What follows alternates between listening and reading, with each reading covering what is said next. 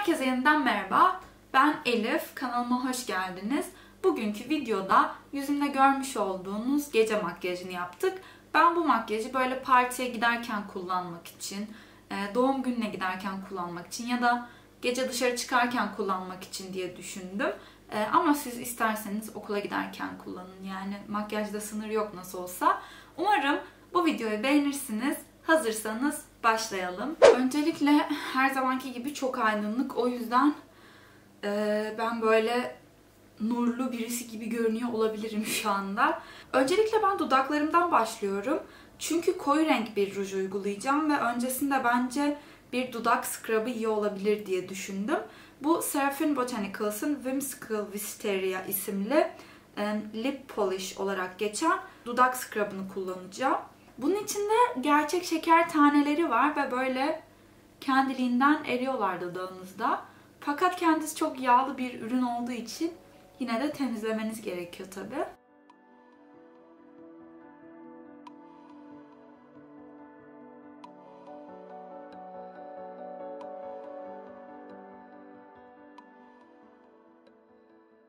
Şimdi bir de göz makyajıma geçmeden önce yüzüme bir baz uygulayacağım ki o arada biraz otursun ve böyle biraz yapışkan halini alsın. Ee, ben bugün Dr. Brand'in Pores No More Luminizer Primer'ını uyguluyorum. Bu baz e, tam böyle nemlendirici ile silikon yapılı bir baz arasında bence. Çünkü e, adından da anlaşıldığı gibi gözenek dolduruyor fakat ışıltılı da bir baz. Ben hiç daha önce böyle bir baz kullanmamıştım. Benefit'im var sanırım bir tane. Ama ben hiç denememiştim şimdiye kadar. E, fakat şöyle bir şey var. Bu bazın içinde çok küçük sim parçacıkları var. Gerçekten çok küçük. Hani üzerine fondöten uygulandığında görünmüyor. Ama yani bu kadar para verdikten sonra bence olmaması lazım. Hani onun da olmaması lazım sim parçacıklarının. Şimdi sizi yakınıma aldım ve göz makyajımı yapacağım. Ben bugün LA Girl'ın Pro Conceal HD kapatıcısını kullanarak göz üzerimdeki renk eşitsizliğini dengeleyeceğim. Bu arada bu kapatıcının bendeki rengi Porcelain.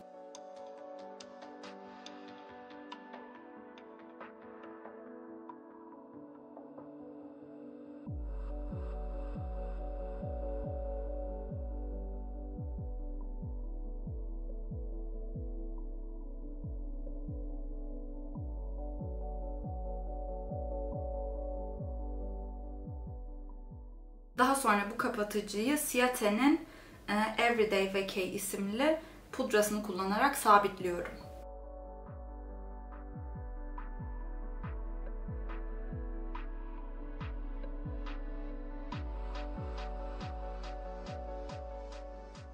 Bugünkü göz makyajım için tekli farlar kullanacağım. İlk olarak Inglot'un Inglot sanırım Inglot değil diye düşünüyorum ben Inglot diye okuyorum.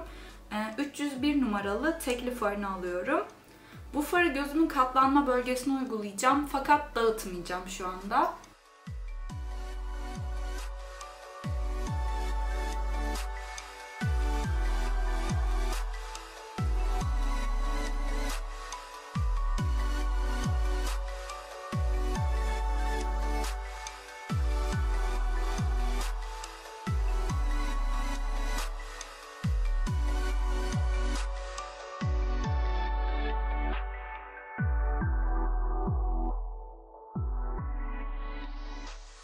Daha sonra üzerinde ürün olmayan bir fırçayla bu farın kenarlarını dağıtıyorum.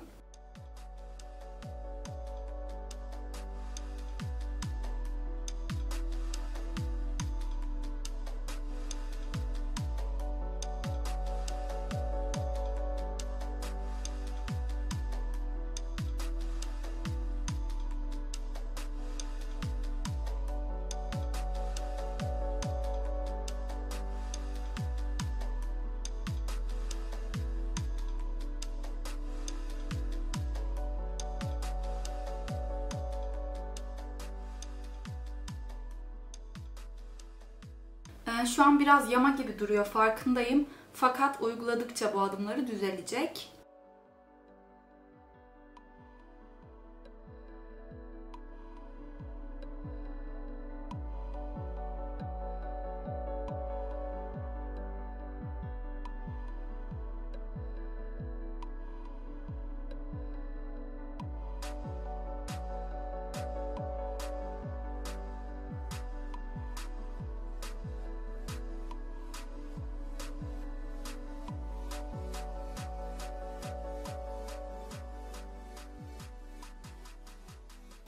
Ee, ilk olarak bu farı dağıtmak bence bayağı zor. Ondan başlayayım. Ee, hem yama gibi oldu hem bazı yerlerde koyulaştı, bazı yerlerde koyduğum yerde kaldı falan filan. Ve en sonunda bu kadar dağıtabildim aynı adımları birkaç kez tekrarlayarak.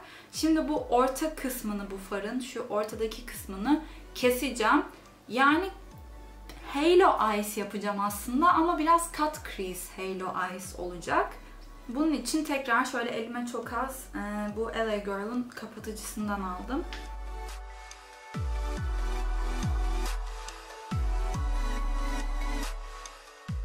Şimdi gözümü açarak bu neye değiyor, nereye değiyor bu makyaj ona bakacağım.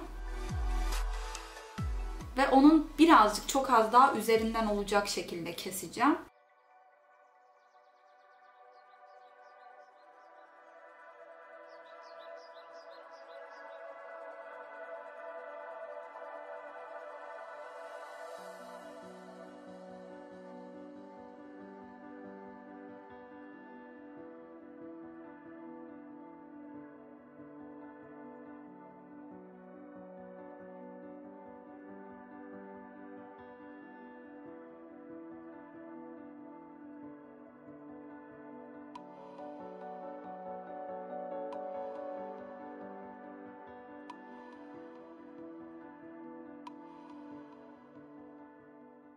Şimdi iki tarafı da kestim ve olabildiğince eşit kesmeye çalıştım. Tabii ki tam eşit olmadılar ama e, en azından benzer oldular diye düşünüyorum. Ve olabildiğince yukarıdan kestim ki gözüm açıkken de görünebilsin göz makyajım diye. Bu göz makyajının iç ve dış köşesini koyulaştırmak istiyorum. O yüzden e, Makeup Geek'in bu Cabin Fever isimli farını kullanıyorum.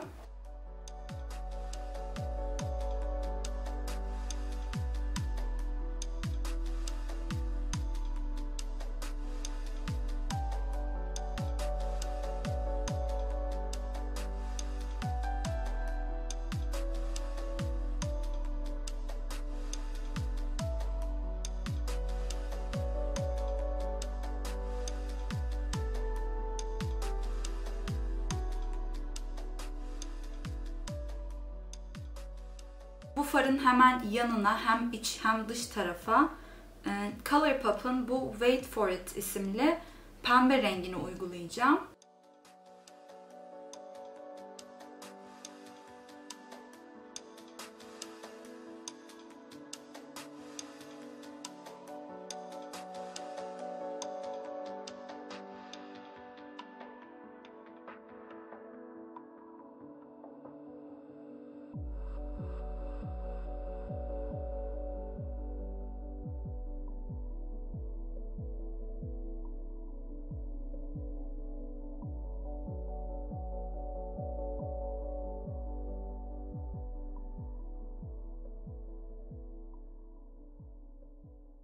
Gördüğünüz üzere her iki tarafta da o ortayı açık bıraktım.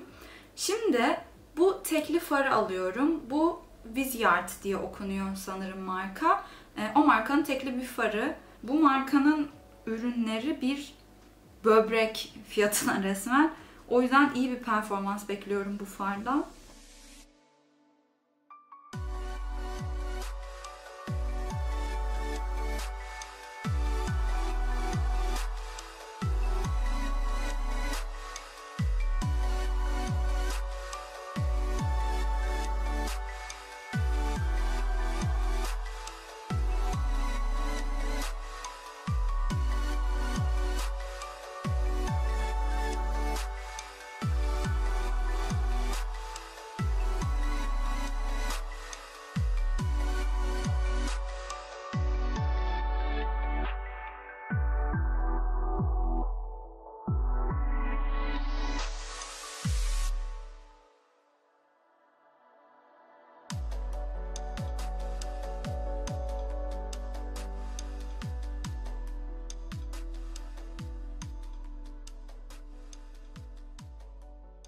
Gözümün altına dökülen farları temizliyorum.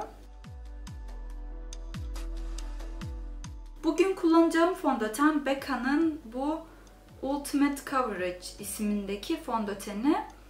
Bendeki rengi vanilla.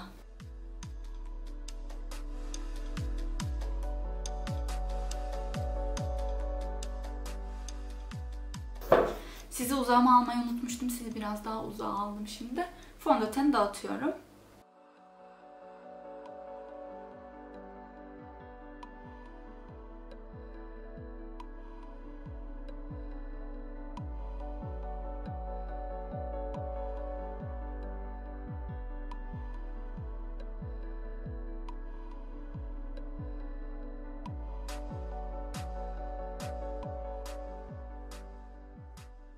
Daha sonra tekrar LA Girl'ın kapatıcısını yüzüme uyguluyorum.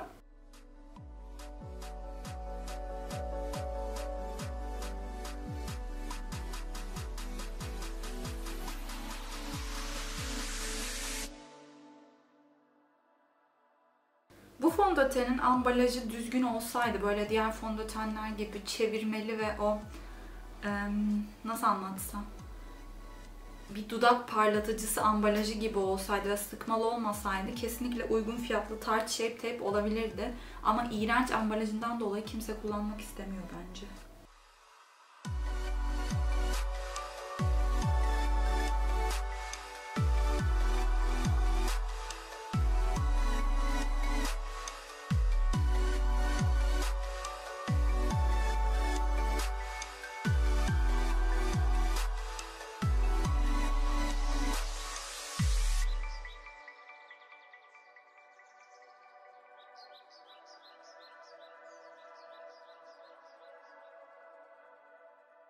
Tekrar Ciate'nin Everyday Vacay pudrasını alıp baking yapacağım. Fakat sadece gözümün altına yapacağım ve yüzümün geri kalanını sabitlemeyeceğim. Çünkü bu fondöten çok çok çok kuru bir fondöten olduğu için zaten bence yeterince gösteriyor kurulukları ve daha da kuru göstermesini istemiyorum. Şimdi pudrayı süpürüyorum.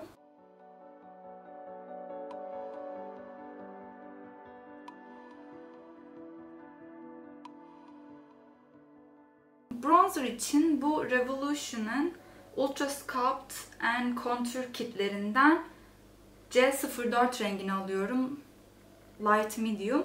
Ee, şu iki rengi karıştırıyorum.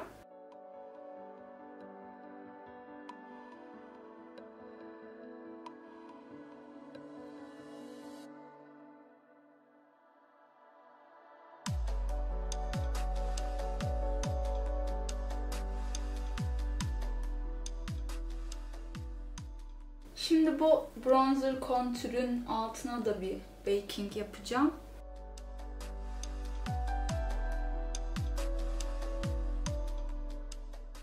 Göz altıma geçiyorum. Göz altımın dışına ve içine yukarıda olduğu gibi bu Makeup Geek'in Cabin Fever isimli farını uygulayacağım.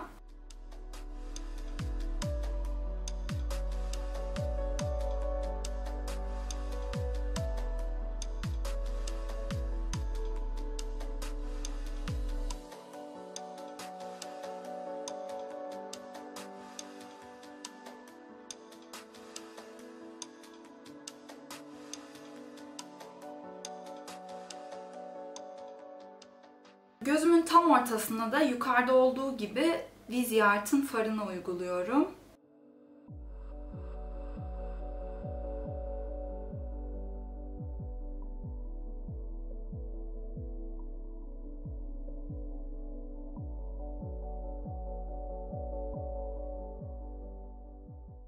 Ee, benim istediğim kadar belli olmadı bu far.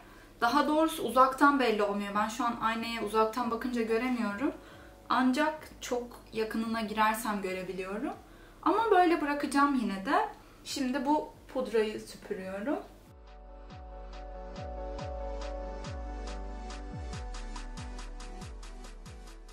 Aydınlatıcı olarak da biz Yart'ın farını kullanacağım. Bu biraz aslında fazla sarı bir renk. Fakat denemek istiyorum yani en kötü kötü olur ne yapalım. Sivilcelerinden dolayı hafif uygulayacağım.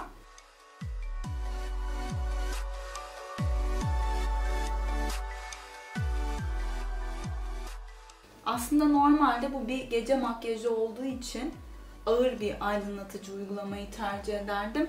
Fakat dediğim gibi sivilcelerimden dolayı bence siz buna benzer bir makyaj yapıyorsanız biraz fazla uygulayın.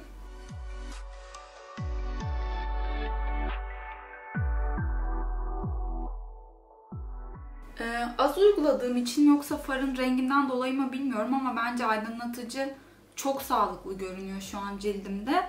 Ee, bunu gözümün bu iç kısmına da uyguluyorum göz pınarıma.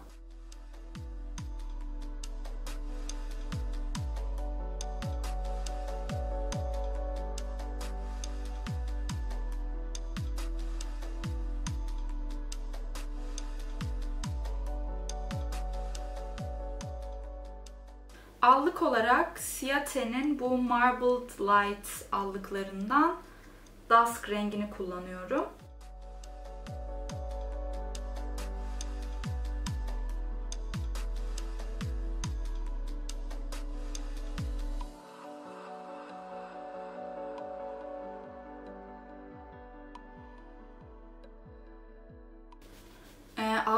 Biraz çok oldu ve bir anda gece makyajından palyaço makyajına döndü sanki bu makyaj.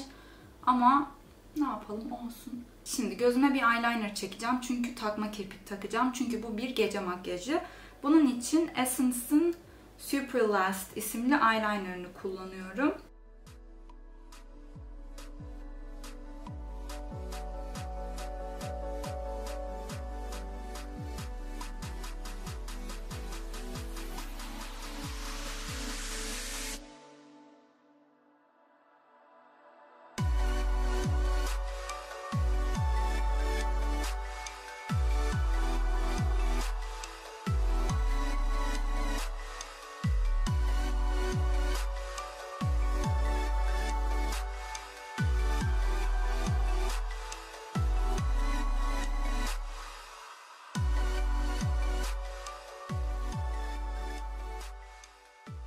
Şimdi kirpiklerimi kıvırıyorum.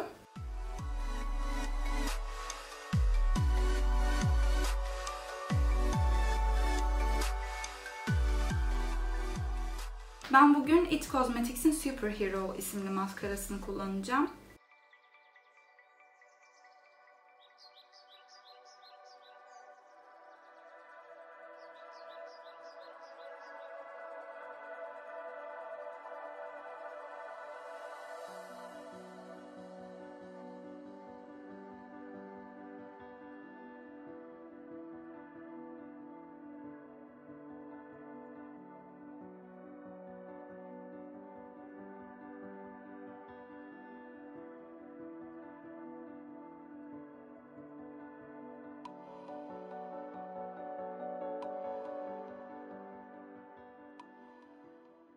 Bu bir gece makyajı olduğu için ben takma kirpik de uygulayacağım ama size çok fazla geliyorsa tabii ki siz bu adımı atlayabilirsiniz. Ben Aylur'un bu kısa birazcık daha doğal duran takma kirpiklerini kullanacağım. İsmini maalesef bilmiyorum ama umarım kamerada görünüyordur.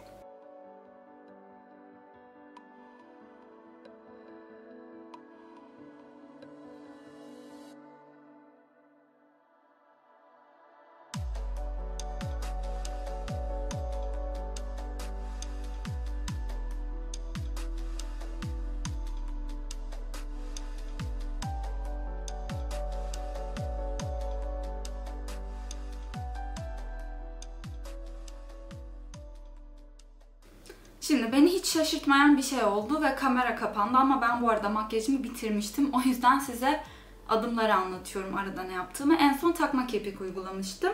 Daha sonra Benefit'in Gimme Brow kaş jelini alıp kaşlarımı taradım. Ee, bunun rengi 4.5. Sonra ise ruj sürdüm. Benim kullandığım ruj I Love Sarahi Colourpop işbirliğinden e, Mamacita rengi. Bu bir ultra matte lip. Ve makyajımın sonuna geldim. Ben bu makyajı gerçekten çok beğendim. Böyle dışarı çıkarım, gece kulübüne giderim, arkadaşlarımla partiye giderim, doğum gününe giderim.